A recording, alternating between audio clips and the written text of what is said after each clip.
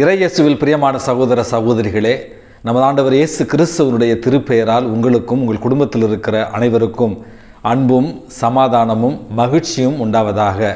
அன்புமிக்கவர்களே தாயாம் திரு அவை இன்றைக்கு அலெக்சாந்திரியா நகரத்தை சார்ந்த மறைசாட்சி புனித அப்பலோனியா என்பவருடைய நினைவு நாளை தான் கொண்டாடுகிறது.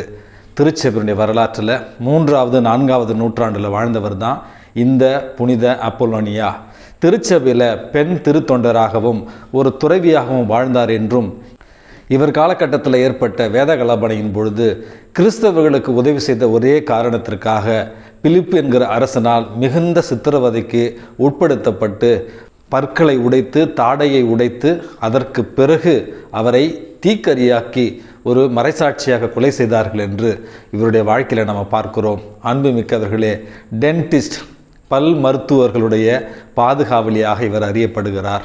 அரசன் அவ்வளோ சித்திரவை செய்து கடைசியில் தீயில எரித்து விடுவேன் என்று அச்சுறுத்துகிற பொழுது அரசன் முன்னிலையில் என்னுடைய இயேசுவுக்காக நானே மனம் வந்து தீயினுள் சென்று என்னுடைய இயேசுவுக்காக நான் சாட்சியம் பகர்வேன் அப்படி என்று சொல்லி நொடி பொழுதில் எரிந்து கொண்டிருக்கிற தீயினுள் சென்று இயேசுவுக்கு சான்று பகர்ந்தவர் தான் இந்த அலெக்சாந்திரியா நகரத்தினுடைய புனித அப்பலோனியா அன்புமிக்கவர்களே இந்த புனிதையினுடைய மனதிடன் இந்த புனிதைக்கு இருந்த இயேசுவின் மீது மாறாத அன்பு நமக்கும் இருக்க வேண்டுமா? இன்றைக்கு நம்ம மன்றாடி ஜெபிப்போம்.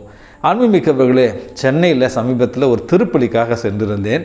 திருப்பலி முடித்து வெளியிலே வந்து கொண்டிருந்த பொழுது ஒரு நபர் என்னிடத்தில் வந்து ஃபாதர் நீங்கள் இன்றைய மன்னா ஃபாதர் தானே? அப்படின்னு கேட்டார். நான் சொன்னேன் ஆமாம் சொல்லுங்கள் எப்படி இருக்கீங்க? எப்படி என்ன தெரியும்னு பேசிகிட்டு இருக்கும் பொழுது அவர் அவருடைய மனைவி அழைத்தார். அம்மா ஓடிவா ஃபாதர் வந்திருக்காங்க இன்றைய மன்ன ஃபாதருங்க இருக்கிறாங்க அப்படின்னு சொல்லுகிற பொழுது அவருடைய மனைவி ஒரு குழந்தையோடு என்னை சந்திக்க வந்தார். அந்த குழந்தையோடு என்னிடத்தில் வந்து ஃபாதர் ஜானியை பிளஸ் பண்ணுங்க அப்படி என்று சொல்லி அந்த குழந்தையை என்னிடத்தில் கொடுத்து ஆசிர்வதிக்க சொன்னார்கள். அந்த குழந்தையினுடைய முகத்தை பார்த்த உடனேயே என் முகம் சற்று மாறியது. காரணம் அந்த குழந்தை குழந்தை என்று சொன்னார்கள். ஆனால் முகம் கொஞ்சம் விகாரமாய் வயது முதிர்ந்தவர் போல முடியெல்லாம் கொட்டி கொஞ்சம் விகாரமாக இருந்தது அந்த குழந்தை. ஒரு நிமிடம் நான் கலக்கத்துக்கு உள்ளானேன். இருந்தாலும் அந்த குழந்தைக்கு முழு மனதுடன் என்னுடைய ஆசீர்வாதத்தை கொடுத்தேன். அப்பொழுது அந்த தாய் சொன்னால் ஃபாதர் பிள்ளைக்காக நிறைய ஜெபம் பண்ணுங்க. ஸ்கூலுக்கு போகணும். நிறைய படிக்கணும். கடவுள் அவனை இன்னும் ஆசிர்வதிக்கணும். அப்படின்னு ப்ளெஸ் பண்ணுங்கள் ஃபாதர் அப்படின்னு சொன்னாங்க. என் மனசுக்குள்ளே தெரியும் அந்த குழந்தை கருதாங்கிய பொழுதே ஏதோ ஒரு குறையினால் பாதிக்கப்பட்டிருக்கிறான் என்று நிச்சயமாக கடவுள் அந்த குழந்தையை ஆசிர்வதிக்க வேண்டும் என்று ஜெபித்தேன். ஆனால் ஒரு மனிதனாக அந்த குழந்தையினுடைய குறைபாடுகளை கண்ட நான் அந்த தாய் விசுவாசத்தினால் அந்த குழந்தை இன்னும் வாழ்வான் இன்னும் வளர்வான் இன்னும் ஆண்டவரை மேன்மைப்படுத்துவான் என்கிற விசுவாசத்தோடு என்னிடத்தில் ஜபத்தை கேட்டார்கள். அன்புமிக்கவர்களே இன்றைக்கு நற்செய்தி வாசகத்தில் நமது ஆண்டவர் இயேசு கிறிஸ்து ஒரு கிராமத்திற்கு சென்று தன்னை யாரும் பார்த்து விடக்கூடாது என்பதற்காக ஓய்வாக இருக்க வேண்டும் என்கிற ஒரே காரணத்திற்காக ஒரு வீட்டிற்கு செல்லுகிறார். அந்த வீட்டிற்கு ஒரு கிரேக்க பெண் சீரிய பெனிசிய இனத்து பெண் ஆண்டவரிடத்தில் வந்து தன்னுடைய மகளை தீய ஆவி பிடித்திருப்பதாகவும் அவளை குணப்படுத்த வேண்டும் என்றும் ஆண்டவரிடத்தில் கேட்டுக்கொண்ட பொழுது ஆண்டவர் அந்த பெண்ணை சோதிக்கும் நோக்குடன் நான் தேர்ந்தெடுக்கப்பட்ட இஸ்ரேலுக்கு அனுப்பப்பட்டிருக்கிறேன். அவர்கள்தான் என்னுடைய முதல் தெரிவு அவர்களுக்காகத்தான் முதலில் நான் அனுப்பப்பட்டிருக்கிறேன் அப்படி என்று சொல்லும் விதமாக ஒரு நாயுடன் அந்த பெண்ணை அவர் ஒப்பிட்டு பேசுகிறார். அதாவது பிள்ளைகளுக்கு உரியதை எடுத்து நாய்களுக்கு போடுவார்களா அப்படிங்கிற ஒரு கேள்வியை கேட்கிறார். அந்த இடத்துல அந்த பெண் ஆண்டவராகிய இயேசுவிடத்தில் ஒரு விசுவாச பிரகடனத்தை செய்கிறார்.